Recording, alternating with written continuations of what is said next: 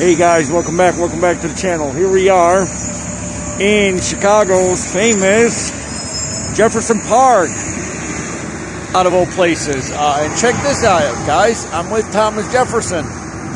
I guess this area has been named after Mr. Jefferson. And look, we're signing the Declaration of Independence today. Um, but in any case, guys, thanks for tuning in. I am back in my old fucking. Sorry for the curse word. I am back in my old hood. This is where I grew up, very nearby here, and there, right there behind behind the station, actually at the station, there's a little. Um, uh, actually, let's go down there right now. Uh, we can take. All right, say goodbye to Mr. Jefferson, signing the Declaration. There he is. Uh, well, in any case, guys, um, let's go down there actually because I don't have to cross uh, a street or anything. But uh, yeah, this is this is where I had my first um, my first American job. well, my first job in, in in any country, I guess. Well, you could count something else as a job, but right here. Um, right here where you guys have an old school, old style Chicago grill. Um, right here, there used to be. All right, I'll show you guys the grill.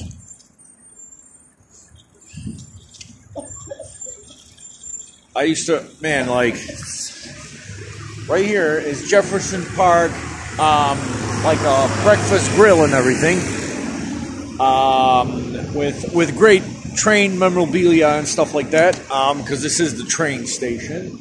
Um, and right next to it, right there where the wireless store is now, used to be um, Jefferson Park's uh, Pioneer Press, which was um, which was like a local, like a neighborhood newspaper. And so when I was like 12 or 13 years old, I think I was 12 years old. So that would make it about 39, no, 29.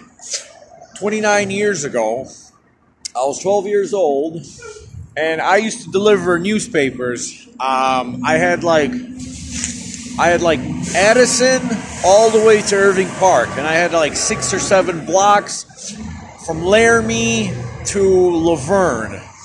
So I had like, so these are streets. Um, these are Chicago streets. Uh, so I had like, I had like a six block route uh, for my newspapers, and that's where it was. So yeah, here's the grill. I used to come up here and I used to get like coffee for like twenty cents.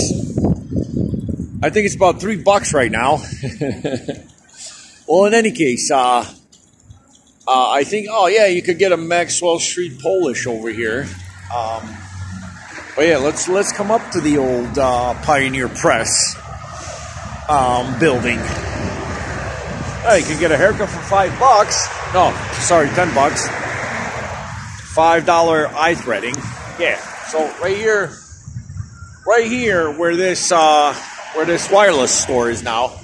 Used to call. I used to come up to the second floor uh, that's where the office was, and I used to collect my check, and I think I made like thirty-four dollars and ninety-two cents a month. Wouldn't go that far with uh, with that today, but yeah, here you could get yourself uh, Chicago style Maxwell Street Polish. Uh, but yeah, there's the view of the bus station, guys, uh, and the train station is right up there. But yeah, this is this is where old Jungle Harry um going back to the roots now with uh, Jungle Harry. Uh, this is where he's he's sown his first fortune of thirty four dollars ninety two cents um, a month.